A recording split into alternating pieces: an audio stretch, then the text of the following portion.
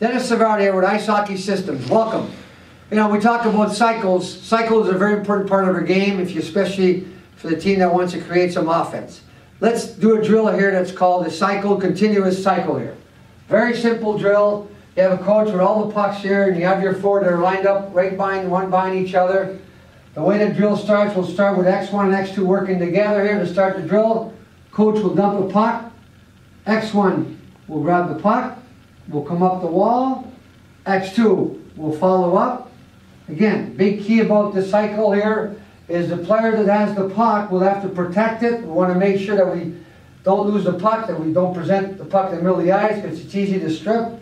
As we come up to the top of the circle, we bump it back to X2. X2 comes around, shoots, hopefully he scores. In the meantime, the coach has already spotted the puck. X2 goes on and takes this putt. X3 now has gone on and supported. X2 walks up, bumps it back to X3. X3 comes back, shoots the putt, and it's continuous. This is a great drill. You keep it going for quite a few minutes.